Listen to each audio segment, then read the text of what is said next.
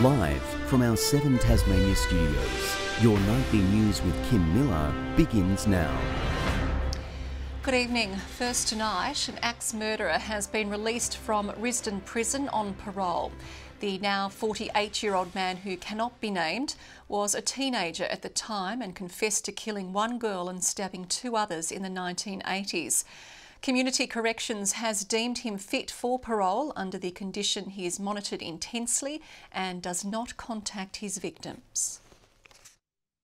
It was 1989 when a 16 year old boy committed the first of three callous acts, stabbing two young girls aged 12 and 15 in two separate and unprovoked attacks. A year later, a 16 year old was found in a lake in Lenah Valley bushland after she was slaughtered with an axe. I'd hate him even if he did feel remorse. But yeah, I hate him. I hate him with all my being. He was sentenced in 1991. The now 48 year old has previously applied for parole four times, each of those knocked back. To assist the parole board in their decision, a psychologist provided reports in 2013 and again this year, stating the offender has a very severe antisocial personality disorder and has been assessed as having a high level of psychopathic traits, and he displays extreme difficulties with empathy, understanding the emotions of others, and having insight into his own motivations for his behaviour. Based on his good track record in prison, increased level of maturity and low risk of alcohol and drug issues, Community Corrections has deemed him suitable for parole on the condition he is under close and intense supervision. But the Australian Lawyers Alliance says more measures are needed to prevent prisoners reoffending in the community. There are people who come out of custody who will do their very best and they will succeed. There are people who come out of custody and they will do their very best and they won't. We need to support all of them. The Department of Justice was contacted for comment. Ainsley Kosh, 7 Tasmania News. Tasmania's racing industry says it has lost confidence in the Office of Racing Integrity. It comes as the Minister reveals a review into the state's regulations will look into the functions of the office and Tas Racing.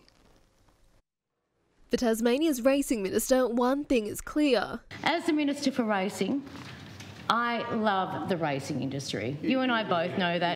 On Tuesday, she announced a review of the Racing Regulation Act, today revealing a broader scope. The independent review into the Racing Act 2004 will include the functions of both the Office of Racing Integrity and Tas Racing. Racing clubs say they've been calling for action for a long time, pointing to troubles within the Office of Racing Integrity. This hasn't just happened overnight, it's been brewing for a while. Uh, there's been a huge turnover of staff there.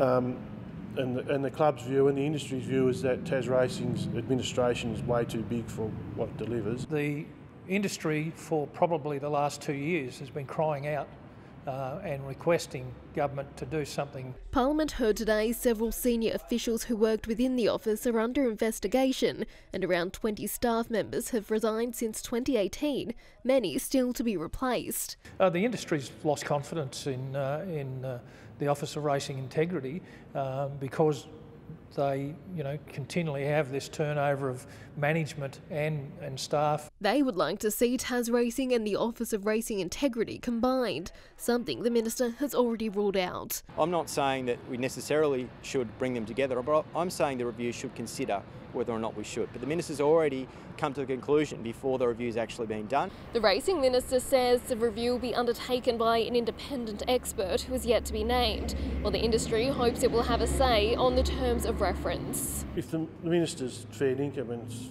going to follow through with a decent review, I mean, we're probably going to get one shot at it to get it right. Meg Sides, 7 Tasmania News. Disability services advocates say high needs students are being shortchanged by $32 million a year. The Education Union and Tasmanian Disability Education Reform Lobby joining forces to call on the state government to address what they say is a long running problem.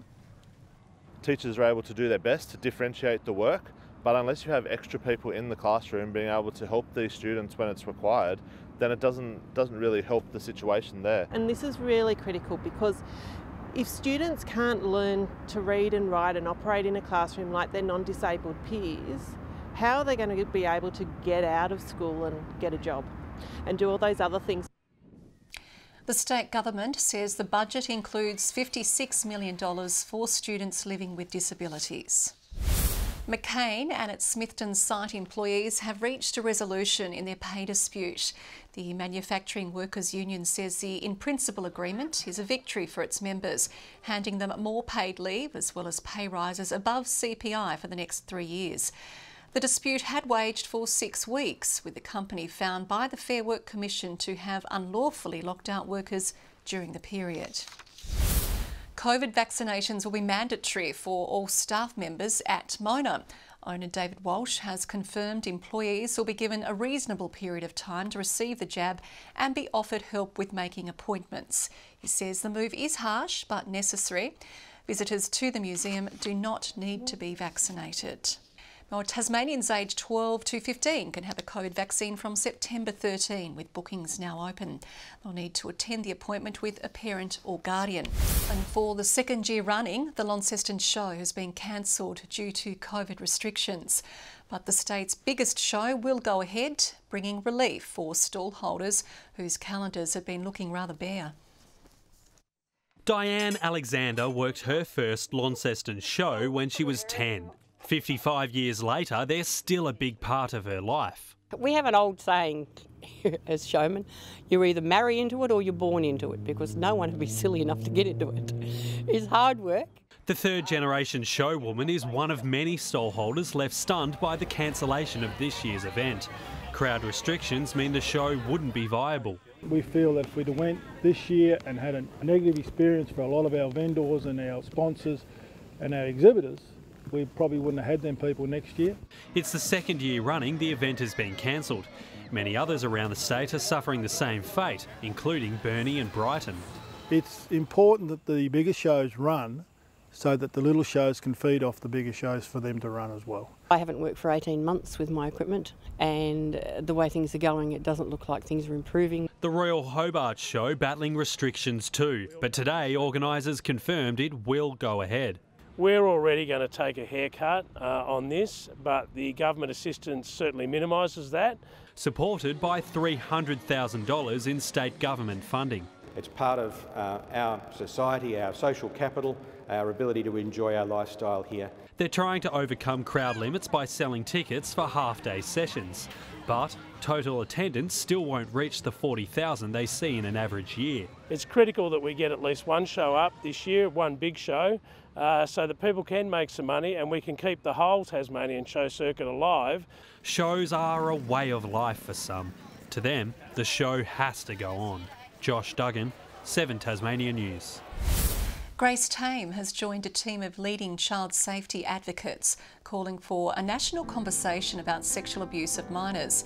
The initiative, led by Australian Federal Police, hopes to end the public stigma around People talking about child abuse. Researchers found a fifth of parents find the topic too confronting. Shift that discomfort to where it belongs at the feet of perpetrators of these crimes.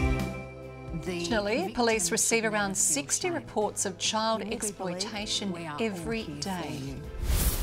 A group of Tasmanian lawyers is seeking to overhaul the state's drug laws and legalise the use of cannabis. The Australian Lawyers Alliance has drafted the Cannabis Decriminalisation Bill, which would allow for the cultivation, possession and use of small quantities of the drug. To possess no more than 50 grams dry, 150 grams wet, and the effect of this will be that we do not see people coming before the court for minor possession of cannabis. The bill would allow people to possess two cannabis plants, bringing Tasmania into line with drug laws in the ACT. Attorney General Elise Archer says the government supports the use of medical cannabis but does not support the proposal put forward by the Australian Lawyers Alliance.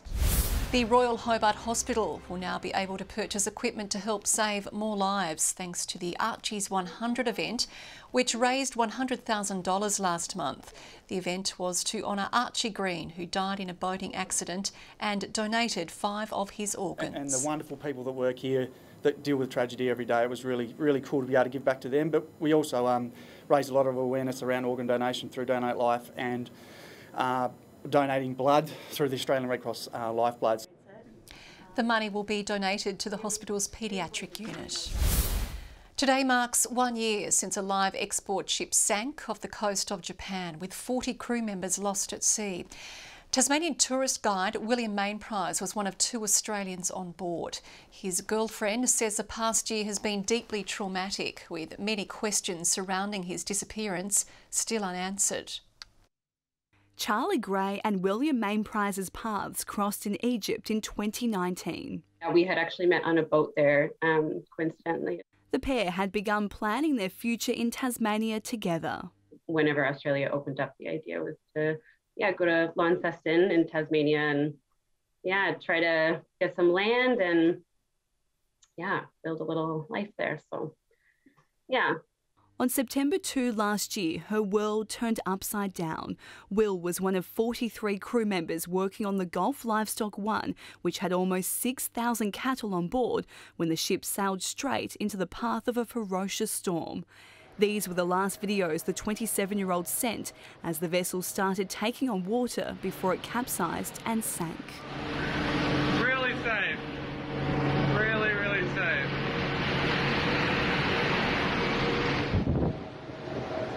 Pretty wild weather. The Japan Coast Guard called off the search a week later after finding only two survivors. But Will's family and friends were determined to keep searching, raising hundreds of thousands of dollars in a crowdfunding campaign. Just an unbelievable, uh, I think, global community response to this issue. Um, that was quite overwhelming. We had pulled in some helicopters as well and had a couple of really wonderful, incredibly supportive and talented people uh, on the ground in Japan looking for us, and it was quite an incredible effort. On October 28, the day before Will's 28th birthday, the last helicopter flew overhead. It's hard to describe how difficult that time was. It was so defeating. Charlie says this tragedy has raised questions about standards in the shipping industry. The ship should never have sailed. It was not fit for sail. It was in horrible condition um, right right from the time that it, it took off and, and also in previous journeys as well. Will's family says the past 12 months have been extremely difficult, sad, and traumatic for us all. Our family has been in a state of frozen grief. We haven't had a service or had any type of closure, given Will is classified a missing person and the death of the missing 40 men is still only a presumption. As for Charlie, she's taking it one day at a time, trying to live life the way Will did maybe it sounds cheesy, but I really feel like I honor him in my daily life. Um, Will is such a gregarious lover of life and people and the environment. I feel like I, have been really changed by the love what we had and, and what he, you know, how he taught me how to live life. Letitia Wallace, 7 Tasmania News. After being forced to move online last year, Tasmania's premier mountain race is back with a new starting line. Runners in this year's Point to Pinnacle will begin their grueling journey from the top level of the car park at Wrest Point Casino before making their way to the summit of Mount Wellington. On the race day, you've got everyone at the start line, which will be up here now, which is kind of hard to imagine, but it's going to be amazing because it's a completely different space. We're hoping for over 4,000, so I think we had 4,300 in 2019, and last year it was cancelled due to COVID, and, and hopefully we return to those numbers. Registrations for the 21 kilometre event and the more tame Point to Pub are now open through the Point to Pinnacle website. The event will be held on November 21. Ogilvie and Newtown High Schools are on track to merge next year with a name for the new school revealed.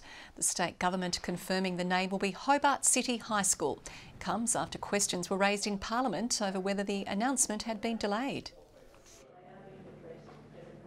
Can you confirm that a decision on the name has been held back because your colleague Madeleine Ogilvie has said that the name of Ogilvie High would be changed only over her dead body? True. It's just not a phrase that I use. So um, I think you misrepresented me, and I would like you to apologise and withdraw the statement. The two campuses will be known as Ogilvie and Newtown. James Boag will eliminate plastic shrink wrap from all its beer bottles by 2023. The Tasmanian Brewery says the move will remove nine tonnes of plastic from landfill. It's in addition to an early commitment to use entirely renewable energy by 2025. In an extraordinary quirk, a local Football League's grand final this weekend will be played between two sides which have never faced each other before. While in the State League, Clarence is out to prove the doubters wrong when the Roos jump north.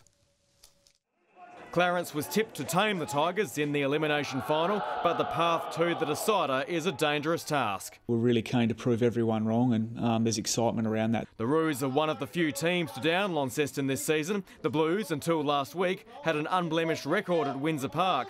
Although Clarence had a lean 2020, the coach says the side has been building towards this opportunity. I think over the course of the last 18 months, they've gained belief, and especially over the course of this year, because they've been in challenging situations. Regional leagues begin grand finals this week, with Lilydale the hot favourite to cap off its 100th anniversary with an NTFA Division 1 flag.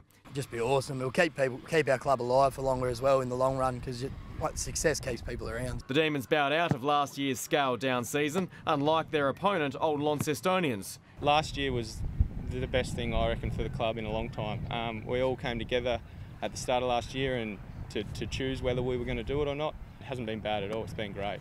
And the NTFA Women's Decider has a quirky twist. The two finalists, Launceston and Old Launcestonians, have never played each other before. Their only match during the season was called off due to poor ground conditions. Probably sitting at eighth halfway through the season, so weren't expecting to make finals really, but um, very excited. Some of the girls that have, haven't even touched football before prior to this season, they're super up and about as well. Launceston joined the league this year following the TSLW's collapse. Tasmania's NBL 1 teams are vowing to return stronger next year after lockdowns and border restrictions effectively axed this season. Most clubs are optimistic of returning some of their talent, but one coach has signalled his position is in jeopardy. For the second year in a row, Tasmania's NBL 1 teams have had the rug ripped from under them. The season scrapped by league bosses, a decision not unexpected, still not an easy pill to swallow. The players, uh, we're all a bit flat. It's really tough for everyone, but I think the league's handled it very well. Added frustration for both the Hobart Chargers and Northwest Thunder men, who at third and first respectively were firmly in championship contention. And I thought it was only a given that we would take this thing all the way. Who had the better shot at glory is up for dispute, but one thing the rivals can agree on both have unfinished business. Let's go around again in 2022 and see if we can, um, yeah, hopefully have a season that, that we can finish off. The Launceston Tornadoes, like most sides, have been training for the past seven weeks under the slim hope the season could be revived. Full credit to them that they've been able to stay motivated and, and in until this point. Now the immediate challenge will be fending off lucrative offers from other clubs for big names like Keely Froling and Kelsey Griffin. They're well sought after players and we know that, you know, they're, they're Opals and WNBL class players. For the Chargers women, there was no such success, languishing at last on the ladder. Coach Mark Nash admits it's unlikely he'll be at the helm next year. Yeah, we'll just sit down and work out, you know, what roles are potentially around and how I can help. Garth Burley, 7 Tasmania News. And after a season with plenty of double headers and players out with illness, the Northern Hawks and Cavaliers say fatigue won't be an issue when the two sides battle for the Tasmanian Netball League title. Cavs has had the upper hand so far this season, scraping through by five points the last time they met in the semi-final. Last year we were in the grand final, but unfortunately we weren't able to get over the line. And so I think there's a few of us in the team that are still, you know, a little bit hurt from that. So it's going to mean a lot to us. The crosstown derbies are always, always really competitive. So really looking forward to being able to um, get this one done and bring it home for the rest of the club. The showdown at the Silverdome is on Saturday afternoon. Good evening. A warm day for the second day of spring with clear skies across the state. 26 in Hobart, Launceston 23, 19 in Burnie and Devonport. The state's top was 27 degrees at Bushy Park, Low Rocky Point and also Strahan. The Friendly Beaches 24 today, Flinders Island and St Helens 22, King Island 21, 20 at Scottsdale, Low Head reaching 16. A cloud-free day right across the state today. Further out, a middle level cloud across South Australia and into the Bight. Low to middle level cloud over parts of Queensland. To tomorrow, and a cold front will push its way over Victoria, South Australia, and Tasmania. A high will move over Western Australia. On the water tomorrow, north to northwesterly winds at 20 to 30 knots, swells to 3 to 4 metres in the west and south. And with that, there are a few warnings. A gale warning for the southwest coast, a strong wind warning for Storm Bay and remaining coastal waters, and an initial flood watch for the North Esk, South Esk, Meander, and Macquarie catchments. The sunny skies were certainly short lived with rain on the way. Hobart, Huonville, and Campania all 18 tomorrow. Much the same in the north, Launceston rain and 17, 15 for Devonport and Georgetown. Burnie, Strahan, and Wynyard rain and 15. Rain increasing for St Helens 18, Swansea 19, Port Arthur 18 the forecast. Looking to Saturday and showers for the west and northeast, fine elsewhere. On to Sunday, showers mainly about the west and south. And on to Monday, showers again for the west and south, mainly fine elsewhere.